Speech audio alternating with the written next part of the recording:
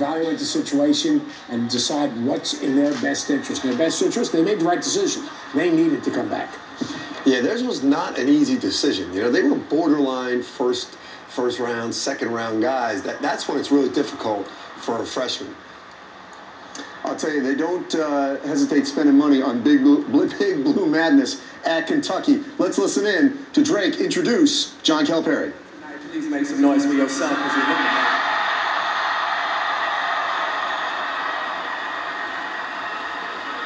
I'm, uh, I'm honored to be here for, uh, for what I believe is going to be one of the most exciting years in Kentucky basketball history.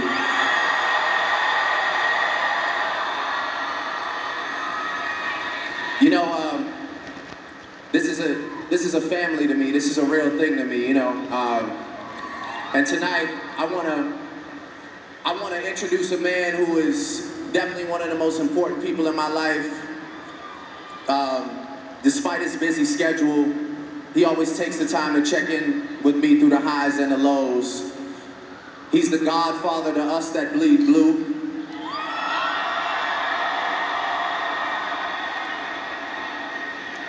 He's probably got some of the best hair I've ever seen in my life. He's like the George Clooney of the hardwood. Ladies and gentlemen, I would like you to make some noise for the one, the only, Coach Cal.